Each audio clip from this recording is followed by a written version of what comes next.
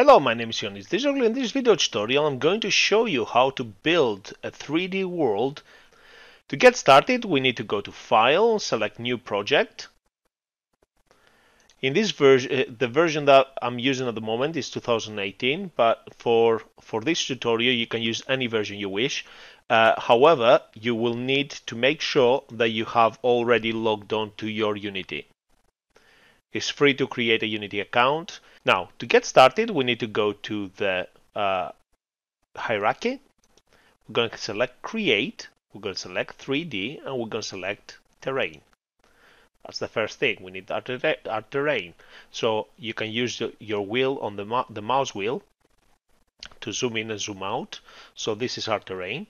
The next thing we need to do is go to the asset store and basically import the standard assets or you can actually add individual assets as you go along. So let's go to the search bar.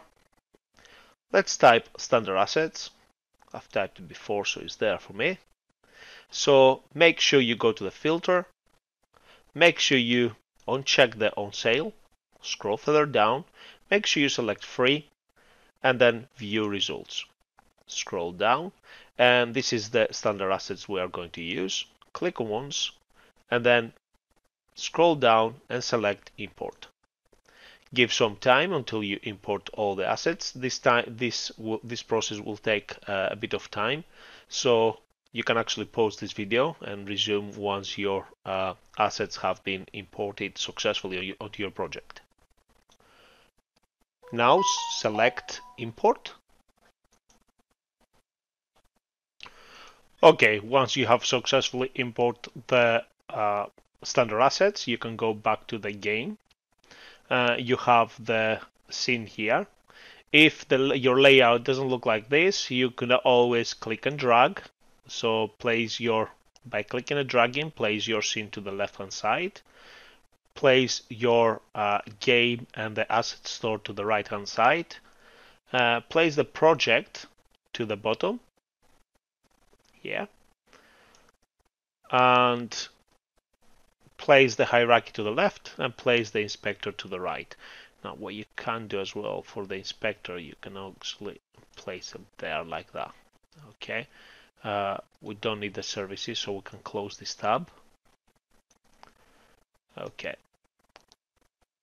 let's make this a bit bigger. Okay, now the next thing we need to do is basically bring uh, some grass to uh, our terrain.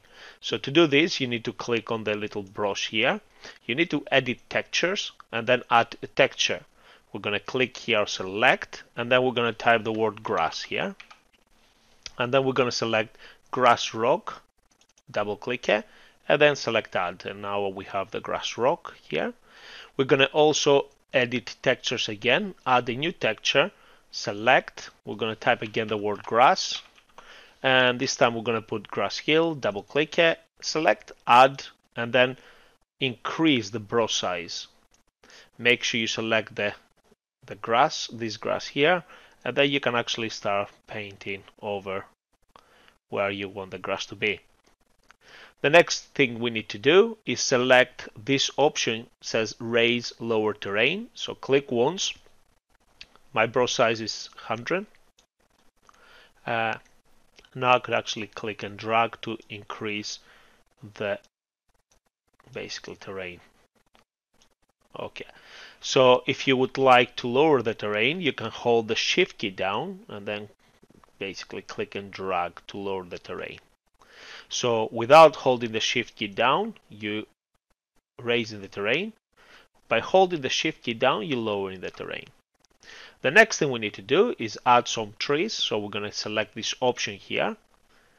And then we're going to select edit trees. And then we're going to select add tree. We're going to click on this little option here. And then we're going to basically go through and add some trees. Well, we have some trees here. So I'm going to select the broadleaf, double click it and click add. And now I could actually just click there once, click there again. Takes a bit of time, you know, so don't go crazy with adding the trees because your computer has to render all this information. So I'm just going to select edit trees again and select add tree. Click on this little option. I'm going to select the next tree available and click add and I'm going to add different trees there. And again, I can edit the trees, add trees. I'm going to add another tree available there, conifer, double click, click add, and then we can put some conifers there and there and there.